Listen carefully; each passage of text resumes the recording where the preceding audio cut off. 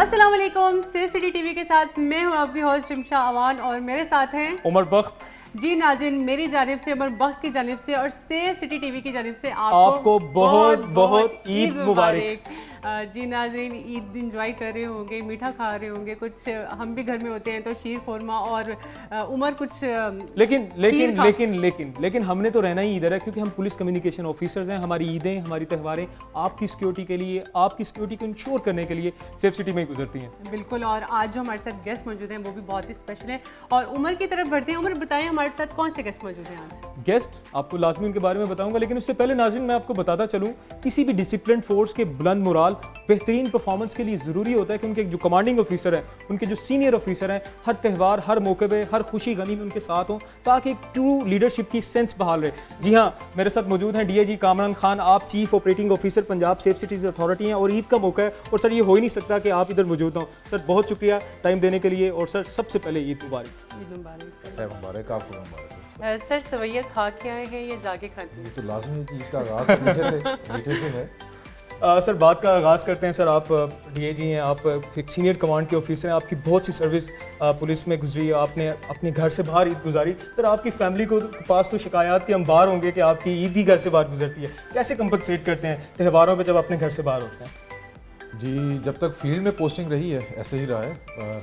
होता ये था कि ईद की नमाज़ पढ़ानी है सिक्योरिटी ड्यूटीज़ हैं जो पब्लिक है वो ईद की नमाज़ की पहले सिक्योरिटी बड़ी इंपॉर्टेंट थी उसके बाद भी पार्कों में और एक्टिविटीज़ ऐसी शुरू हो जाती थी हम्म। तो ज़रूरी होता था कि उनकी सिक्योरिटी के लिए वहाँ पर मौजूद रहें फिर उससे भी ज़्यादा ज़रूरी होता था कि हमारी टीम जिसने रमज़ान मुबारक में पूरा ड्यूटियाँ परफॉर्म की हैं और ईद पर उनको उनके घर ना जाने दिया जाए तो पूरा हम प्लान करते थे उसमें मैं नॉर्मली कुर्बानी देता हम्म। था कि मैं ईद पर रुकता था और अपनी टीम के लोगों को पहले दिन दूसरे दिन तीसरे दिन उनको ईद पे जाने की। हमारे एक रोस्टर बन जाता था उसमें जाते थे। और ईद के तीसरे दिन जब सारी पब्लिक वापस घरों को आ रही होती थी तो मोटरवे पे हाईवे पे जहाँ कहीं पोस्टिंग होती थी हम्म, हम्म। तो मैं अपने बच्चों को लेकर घर आ रहा होता था घर वालों से ईद मिलवाने के लिए। अच्छा। तो यही पैटर्न जब तक फ़ील्ड में रहे यही पैटर्न रहा कि ईद हमने वहीं पे अपने जहाँ पे पोस्टिंग थी तैनाती के मुकाम पे पड़ी है। और दूसरे दिन शाम को या तीसरे दिन शाम को हम ईद करने अपने पेरेंट्स से बहन भाइयों से मिलने के लिए सर उन्हें शिकायत तो होती होंगी और फिर आप कंपनसेशन भी थोड़ी करते होंगे कि जी उसका बिल्कुल। ज़ाहिर है ईद का जो मौका जब उसमें आप किसी से मिल भी नहीं सके और जो ईदी वगैरह मिलनी थी जब सारी फैमिली इकट्ठी हुई हुई और आप यहाँ पे नहीं है कभी बाजू का तो ऐसे भी हुआ कि फैमिली को फिर भिजवा दिया पहले अच्छा, अच्छा, अच्छा। लेकिन अक्सर वो फैमिली साथ ही रहना पसंद करती थी। अच्छा। तो बच्चों के साथ ही फिर जब तीसरे दिन आते थे तो फिर वो जो कंपनसेशन मुझे करनी पड़ती थी जो ईदियाँ मिस हो गई होती थी वो भी मुझे देनी पड़ती थी उनको। अच्छा। सर आप देते ही हैं ईदी या ईदी मिलती भी है? ईदी अब तो जब से नौकरी में है तब से तो ईदी कभी नहीं मिली। तो ईदी देनी पड़ती देनी है देनी पड़ती देनी पड़ती है और बल्कि अब तो डबल फटीक पड़ती है। अच्छा। पहले हम जब बचपन में होते थे तो ईदी मिलती थी तो वो पेरेंट्स ले लिया करते थे। हम्म। बिल्कुल। तो एक अदर मतलब उस दौर में मुझे याद है कि जब छोटे थे एक एक रुपया ईदी भी बहुत बड़ी ईदी होती थी। और उसमें कई चीज़ें अपनी मनपसंद जो चीज़ें खानी होती थी वो खा पी भी आते थे। आ, एक जो कोल्ड ड्रिंक्स का शौक है वो बचपन से हर बंदे को रहा होता है तो सबसे पहले भागा करते थे हम पहले कोल्ड ड्रिंक पीना ठंडी ठंडी जाके पिस्टल भी लेते थे हाँ, लड़कों का ज़्यादातर ये भी होता था च्युइंगम्स लेते थे। अब ये है कि ईदी आती है ज़ाहिर है और रिश्तेदार भी बच्चों को ईदी देते हैं वो भी बच्चों के पास रहती है। उनके बच्चों को जो देनी होती है वो भी हमें देनी पड़ती है। तो अब वो ईदी महँगी हो गई सर ये तो बड़ा यहाँ था। ऑब्वियस था कि पुलिस की जब सर्विस को ज्वाइन करना है तो फैमिली से दूर रहना है ईदों पे भी दूर रहना है त्यौहारों पे भी दूर रहना है। क्या मोटिवेशन थी बिहाइंड बीइंग पुलिस ऑफिसर सच्ची बात है पहले इतना अंदाज़ा नहीं था कि इतनी बड़ी कुर्बानी देनी पड़ती है और इतना आप सेक्रीफाइस करना पड़ता है। सिर्फ़ आपको नहीं करना पड़ता। आप तो जॉब में होते हैं आपकी रिस्पॉन्सिबिलिटी हम्म, होती है। आप उसको फील कर रहे होते हैं। तो आपको उतना शायद फील नहीं होता। वैसे भी उस एज ग्रुप से निकल गए होते हैं। हम्म। दूसरी जो चीज़ एक अच्छी आ गई कि मीन्स ऑफ़ कम्युनिकेशन मोबाइल और सारी चीज़ें हैं कि उसमें आपका रबता हो जाता है। व्हाट्सएप पे भी है फेशियल भी आपका इंटरेक्शन हो जाता है। ज़्यादा कुर्बानी आपकी फैमिली को देनी पड़ती है जो आपके साथ ऐसे रिमोट स्टेशन पे जहाँ पे कोई भी नहीं मिलने मिलाने वाला होता। और वहाँ पे उस स्टेशन के लोग भी बहुत सारे जो और जो ऑफिसर्स होते हैं जिनके साथ आप इंटरेक्ट कर सकते हैं वो भी अपने घरों को चले बिल्कुल तो अब प्रैक्टिकली बिल्कुल घर में ईद की नमाज़ पढ़ पढ़वा के पढ़ के पढ़वा के अब घर में बैठे हुए हैं और बस फिर मीडिया पे जो टीवी पे चल रहा है वो चीज़ें देख एक आम सा दिन गुजर जाता है आम दिन की तरह घर में गुजर जाता है वो बाहर इंटरेक्शन इतना होता नहीं है। क्योंकि नेटिव नहीं होता बंदा वहाँ का रेजिडेंट नहीं होता और ज़्यादातर हमारी ऐसे रिमोट एरियाज़ में ड्यूटी रही होती है कि जहाँ पे इतनी कोई एंटरटेनमेंट एक्टिविटीज़ भी नहीं होती बच्चों को लेकर आप निकल जाए। कोई एक आधा होता है वो करके आप फारिग होकर घर बैठ जाते हैं। चोरों के बीते हैं हम्म। बात है वो भी मना रहे हैं। तो इस ईद पे चोर जीतेगा ये सिपाही देखिए हमेशा फतह हक ही होती है। कोई ना कोई टाइम मिलता है वो मुहावरा भी है कि सौ दिन चोर के एक दिन कोतवाल का। ठीक है वो कुछ ना कुछ उनको कभी टाइम मिल जाता है लेकिन अल्टीमेटली कानून की गिरफ्त में आते हैं। और इन दिनों में भी जो करेगा वो होता है। इन दिनों में स्पेशल मैयस ली जाती हैं। हमें मुझे पता है कि आखिरी अशरे में ईद की शॉपिंग का बड़ा ज़ोर पड़ बिल्कुल ऐसा। पकड़ लेता है। तो आखिरी अशरा हमारा बड़ा हेक्टिक होता है। तरावियाँ भी होती हैं ताक रातें भी होती हैं। उसके बावजूद हमें रातों को निकल कर ड्यूटियाँ देनी पड़ती हैं।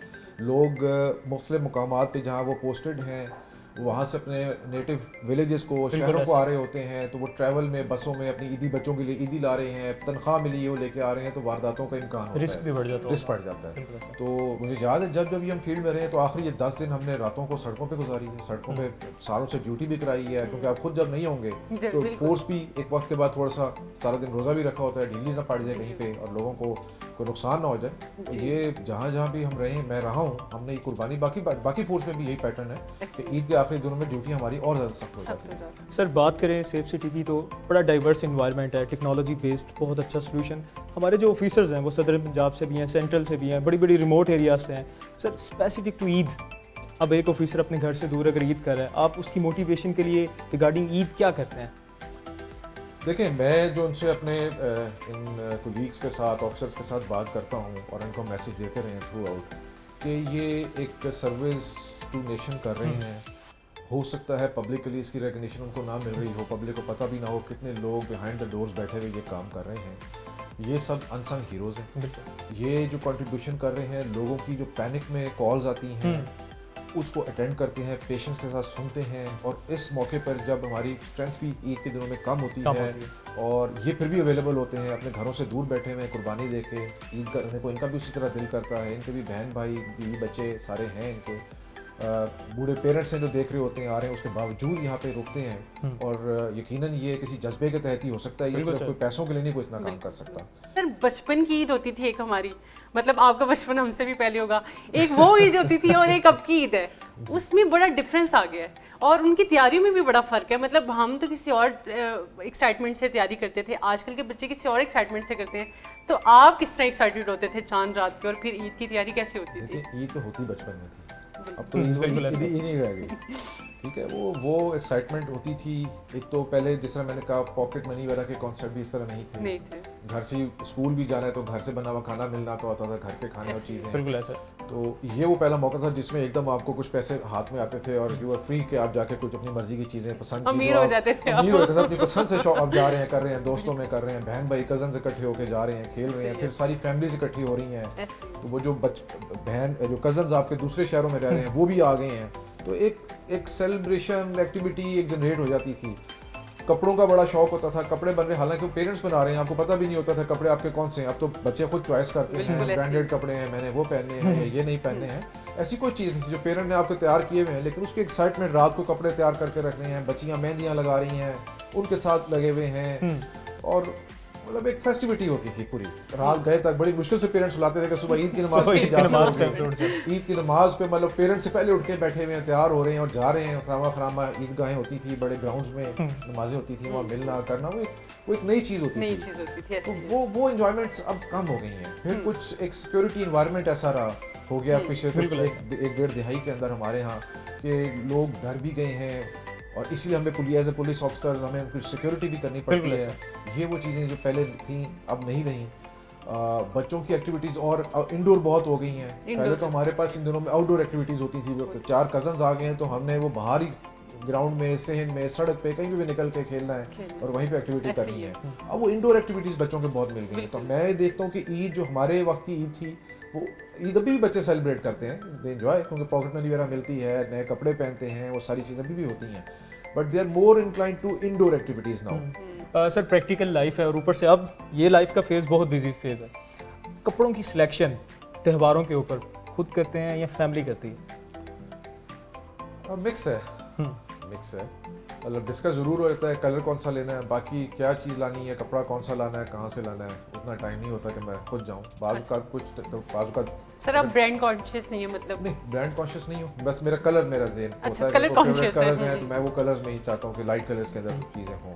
बाकी टेलर मेरा अपना है टेलर अच्छा अच्छा। वो एक है सर टेलर टाइम पे कपड़े दे देता है ईद के मौके पे तो खातन को तो हमारे खास तौर पे ये मसला होता है कि टेलर के पास टाइम नहीं होता और टाइम पे कपड़े नहीं मिलते। क्या आपको टाइम पे कपड़े मिल जाते हैं या फिर आपको छड़ी का इस्तेमाल करना पड़ता है अभी अल्लाह का शुक्र ऐसा नहीं हुआ बट टाइमली मतलब रमज़ान के स्टार्ट के अंदर ही ये चीज़ प्लान करके जो है कपड़े लेने हैं तो शुरू में कर लेता हूँ इसलिए इतना कभी इशू नहीं बना के बिल्कुल ईद पे आके। और अदरवाइज़ भी मर्दों में उस तरह के इश्यूज़ नहीं होते हैं। अच्छा। सफ़ेद कॉटन के कपड़े पड़े हुए हैं अगर वो कोई नहीं भी है तो वो कॉटन के कपड़े आप आराम से पहन सकते हैं। तो मुझे लगता है मर्दों की ज़िंदगी इस तरह से बहुत आसान बहुत होती आसान है बहुत आसान कोई भी व्हाइट कलर का सूट पहना उसके ऊपर वेस्ट सूट पहनी और हैं जो पहना उस पर चल गया। चल गया। ईद के मौके पे या ईद के अलावा भी कभी घर में कोई पकवान आपने भी तैयार किया है कुकिंग का शौक है या बहुत अच्छे खाने का शौक है? नहीं खाने का शौक ज़्यादा है अच्छा। पकवान तैयार तो कभी नहीं किया कुकिंग मुझे अच्छा। नहीं आती बिल्कुल भी नहीं आती मतलब अपनी कि मैं कभी एक दो दफ़ा बीच में मुझे यूएन मिशन पे बाहर मुल्क में रहना अच्छा, पड़ा है तो अच्छा। छोटी मोटी बेसिक सी चीज़ें मैं कर लेता हूँ बट जो ईद की स्पेशलिटीज़ हैं वो मैं नहीं उसमें कर सकता लेकिन ये चूँकि फेस्टिविटी हो रही होती है हम्म। बचपन में तो मुझे याद है कि वालदा के साथ हम सारी सवैयाँ खीर और मुख्तु चीज़ें बन रही हैं ऊपर चांदी लग रही है वो किशमिश और इस तरह के मेवे वगैरह डाले जाते हैं फिर वो प्लेटों में सजाना उस वक्त तो घरों में तकसीम भी किया जाता था मोहल्ले में आप वो प्लेटों में सजा के ट्रे में रख के साथ जाना वो बड़ा शौक होता था। होता था। तो जाते थे फिर दूसरों के घरों से आ रहा है। वो चीज़ें काफ़ी हद तक अब कम हो गई हैं। उस तरह पकवान बनाने में बनाने में तो नहीं कभी रोल प्ले किया लेकिन जब बन रहा होता है तो ज़रूर चखना आगे उसमें जाके देखना है तो बचपन की एक आदत रही है वालदा के साथ चीज़ें देखी नहीं है। अच्छा। तो वो उस दिन में ज़रूर एक होता है जब टाइम मिले। क्योंकि हमारी चाँद रात तो बाहर जब फ़ील्ड में होते हैं तब तो ये टाइम नहीं मिलता। वो तो फ़ील्ड में रात को दो बजे तीन बजे वापस घर आ रहे हैं और सुबह फिर अर्ली आपने जाना है फौरी तौर पे कि नमाज़ के लिए। पहले नमाज़ पढ़ानी है फिर आपने अपनी नमाज़ भी साथ पढ़नी है। तो उस वक्त नहीं मौका मिलता। लेकिन अब जहाँ पे कब फ़ील्ड से हटके पोस्टिंग को तो ज़रूर उस दिन ये वो एक बेचैनी होती है कि वो देखें क्या बन रहा है बन रहा नहीं बन रहा। चांदी पहले लगती थी वालदा लगाती थी चांदी क्यों नहीं लग रही है? वो चीज़ें उसी तरह तैयार हों बिल्कुल। देनी है मोहल्ले क्या चीज़ सबसे ज़्यादा पसंद है? मतलब आपका दिल करता है कि ईद के मौके पर ये चीज़ ज़रूर बननी चाहिए। खीर बहुत खीर। बहुत अच्छा। ज़्यादा। बहुत शौक से हमेशा से बचपन से खाई है लेकिन सवैयाँ मिठाई हो कोई भी मीठी चीज़ का हमेशा से शौक रहा है। But particularly kheer. Kheer. Sir Eid के दिन की रूटीन क्या होती है? एक तो मिल लिया नमाज़ पढ़ ली सवैयाँ खा ली उसके बाद क्या? ईद की देखें मैंने शुरू में कहा जो जो फ़ील्ड में होती है वो तो घर में वो तो फ़ील्ड। वालिद इस वक्त फैमिली में सीनियर मोस्ट हयात हैं तो उनसे मिलने सारी फैमिली आती है। तो फिर वहीं पे सारा दिन तो वहीं पे स्पेंड करते हैं। तो पहला दिन तो मेरा अपना अपनी फैमिली के साथ बहन भाइयों के साथ सारे घर इकट्ठे हो रहे हैं। इवनिंग में अपने जो दूसरे बुज़ुर्ग हैं उनकी तरफ़ चले जाते हैं। सेकेंड डे जो है वो ससुराल के लिए है। तो फिर वो वो वो बड़ा घर है। वहाँ पे जाना ससुराल में गुजर जाता है। तीसरा बाकी फिर कोई दोस्त में अगर किसी ने कहा हुआ है घर आने के लिए किसी को हमने कहा हुआ है तो तीसरा दिन तकरीबन मिलने आने जाने में सर बचपन में ईद के ऊपर जब हम ईद कार्ड या अब तो मोबाइल आ गए हैं हम व्हाट्सएप पे मैसेज कर देते हैं फेसबुक पे लेकिन पहले हम बाकायदा एक अपने अच्छे दोस्त के लिए सबसे महँगा पाँच या दस रुपए वाला कार्ड खरीदते थे और उसके ऊपर बड़े अच्छे अशार लिख के ईद विश करते थे। ऐसा किया कभी आपने? बहुत। अच्छा। बहुत किया कार्ड्स का कार्ड्स लाइक दूसरे से शेयर करना अपने दोस्तों को खास तौर पे। हालाँकि वैसे मिलते थे यूनिवर्सिटी में मिलते हैं बट वो एक एक एक्टिविटी बन गई थी होती कार्ड थी। और उस कार्ड के लिए ये ईद से तो 10-15 दिन पहले स्टॉल्स लग जाते थे तमाम मार्केट्स में। शॉप्स के आगे वो स्टॉल्स लगे होते थे वहाँ पे देखने घूमने घूम के मतलब सिलेक्शन उसकी एक थोड़ी एक एक्टिविटी थी वो भी। तरावियाँ पढ़ी तरावियाँ पढ़ के निकल के मार्केट के अंदर। और वहाँ पे फिर कार्ड सेलेक्ट कर रहे हैं। फिर किसको क्या भेजना है? लाहौर से बाहर कैसे भेजनी है? भेजते किसी को उर्दू में भेजना है किसी को इंग्लिश में भेजना है किसी के साथ फिर उसमें नोट क्या कुछ चीज़ करनी है या सर बड़े अच्छे। नोट्स होते थे और बड़े शेयरों का प्यारे इंतखाब भी होते था, बड़ा कुछ होता था कि फिर वो कार्ड जो दोस्त आपको भेजते थे वो हाँ पूरे ड्राइंग रूम में उनको उनको सजाना। वो धागे पे लगा के वो लगे होने। या उस पे उस पर जो आपका जो कर्टन के ऊपर होता था वो वुड का लगा होता था उसके ऊपर आप सपोर्ट होती थी बाहर रख सकते थे। बिल्कुल। वो शेल्फ बने होते थे आपके ड्राइंग रूम में पुराने सरकारी घर में रहते थे। जी। तो वो उनके ऊपर उनको सजाना कौन सा आगे रखना कौन सा पीछे रखना तो बड़ी वो भी एक्टिविटी थी। वो बिल्कुल खत्म हो गई है। सर कोई शेर याद है? कोई आपने बहुत अच्छा शेर अपने बड़े अच्छे दोस्त के लिए लिखा हो? शेर मैंने ऐसा नहीं कभी लिखा था। अच्छा। नॉर्मली हम वो विश ही करते थे। विश विश अच्छा। करते थे ईद मुबारक। सर ये जो डब्बे में डब्बा डब्बे में कुछ समथिंग इस तरह के शेर ऐसे नहीं लिखते थे नहीं होता। होगा। अच्छा सर क्या मैसेज देंगे जो पुलिस ऑफिसर्स हैं घरों से बाहर क्योंकि सिचुएशन कोविड की भी है नाकों पे खड़े हैं फिर वो मसाजिद के बाद पूरे लोग नमाज़ पढ़ के चले जाते हैं पहले आना बाद में जाना सेम इसी तरह इमाम बारगाहों के बाद हर जगह पुलिस ऑफिसर्स ड्यूटी कर रहे हैं। उनके लिए क्या मैसेज देंगे ईद के स्पेसिफिक मौके पे? मैसेज देखें आ, मैंने जैसे पहली बातों में कहा कि वो बहुत बड़ा एक फरीज़ा अंजाम दे रहे हैं। ये कोई पैसों के लिए ड्यूटी नहीं है। हम्म। ये उनको अपनी नीयत भी इसी लिहाज से रखनी चाहिए कि ये लोगों की हिफाजत अल्लाह की रज़ा के लिए कर रहे हैं। और इस मौके पे जो अपने बच्चों से दूर रह कर कुर्बानी दे रहे हैं अपना कीमती वक्त जो उनके बच्चे उनको एक्सपेक्ट कर रहे हैं कि उनके साथ टाइम गुजारें सारी फैमिलीज़ को देख रहे हैं कि सारे बच्चे मिल रहे हैं ईद पे हो रहा है सारा वो त्यौहार और यूनिफॉर्म पहन के वो ड्यूटियाँ दे रहे हैं और अलर्ट भी हैं उसी तरह खुदा ना खासा को ऐसे ही कोई कोई अंडरवर्ड इंसिडेंट ना हो जाए वहाँ पर तो मैं उनको पहले तो सलाम पेश करता हूँ जो अपने फ़राइज़ को इतने तनदही के साथ अंजाम दे रहे हैं और मैसेज यही है कि अल्लाह ताला के यहाँ उनका यकीन इसके लिए बड़ा अजर होगा। वो अपनी ड्यूटी को प्रॉपर पूरी ईमानदारी के साथ उस वक्त में जिस वक्त वो ड्यूटी है उसमें अंजाम दें और जब अपने घर जाएँ तो फिर अपने बच्चों के साथ उसको इन्जॉय करें। जी sir thank you so much sir बहुत शुक्रिया आपने अपनी कीमती टाइम दिया और ईद की खुशी में हमें भी अपने साथ शामिल किया। जी नाजिन जैसा कि सर ने भी कहा कि जो रोड पर खड़े हुए पुलिस के मुहाफ़ हैं वो आपकी खुशियों को आपकी ईदों को महफूज बनाते हैं हम्म। अपनी खुशियों को कुर्बान करके।